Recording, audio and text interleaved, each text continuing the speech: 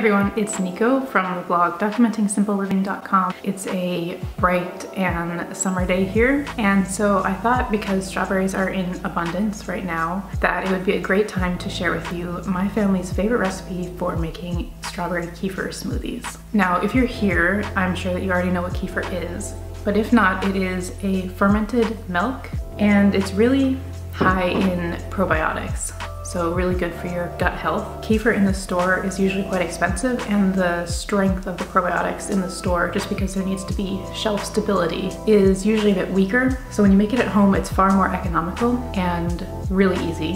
And it's also much more potent. I like to add strawberries to kefir because it makes the kefir sweeter. Homemade kefir especially because of how potent it is can be quite tangy and sour. It's definitely an acquired taste. And so by adding banana and strawberries and you can add like maple syrup even and honey, you have a sweeter tasting kefir, which is really delicious and perfect for summertime. So the first thing I'm gonna do is add to my blender about two cups of kefir that I've just strained off.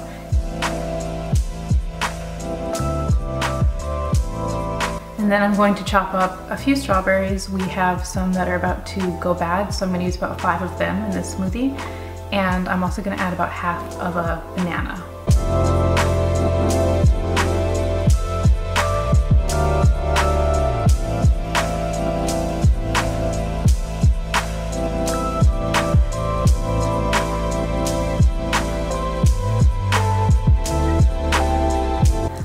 Also going to add about a tablespoon of linseed powder or flaxseed powder. Linseed is super high in protein and fiber, and so it's a great addition to this more fruity smoothie to bulk it out and will make it more of a robust sort of snack.